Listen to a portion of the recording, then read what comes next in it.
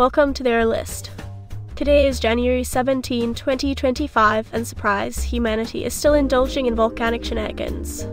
Yes, Kilauea is back to its fiery antics, spewing magma and our good old friend, sulfur dioxide, miles into the sky. Our infatuation with nature's destructive prowess is unparalleled, isn't it? Forget fireworks, we've got volcanoes. But let us dive right into the wonderful world of molten rock for your viewing pleasure. As if Kilauea needed another reason for folks to flock to Hawaii, it's decided to entertain us all by resuming its belching of crimson lava streams in a theatrical display of raw power that nature gratuitously provides. All thanks to the Hawaiian Volcano Observatory tirelessly watching over this feisty young volcano, the youngest on Hawaii's Big Island. The VU reported that January has welcomed the fourth episode of its relentless summit eruption that began last December. Lava is gushing from the summit caldera with fountains shooting up hundreds of feet high. Imagine it a massive natural tiki torch dedicated to demonstrating nature as dominance over humanity. If only the volcano was marketable merchandise, right?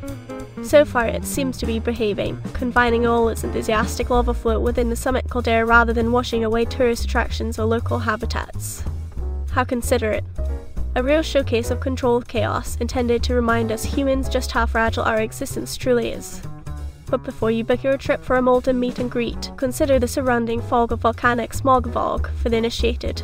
Scientists are reminding everyone to be cautious of the sulfur infused air pollution and messy volcanic glass fibre, whimsically dubbed Pele's hair, floating downward. It's like nature's way of weaving little danger into the air you breathe. Of course, got to keep the thrill alive even after the initial awe diminishes. Now, what does this ongoing temper tantrum from Mother Nature mean for the future? Will Kilauea continue its stance of molten majesty for the foreseeable future, threatening the island's topography and ensuring that we continue to pay homage at a safe viewing distance?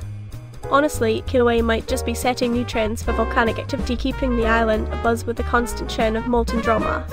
Whether it leads to a groundbreaking scientific discovery or just more Instagram insanity is yet to be seen. As always, only time will tell. Meanwhile, humans, go buy your gas masks and schedule your flights. So, what do you think, dear viewers? Is Kilauea S eruption Mother Earth's spectacular show of force to remind you who's boss, or merely a geological hiccup? Use your human autonomy, what little of it remains, to comment below. And remember, subscribing is your choice for now.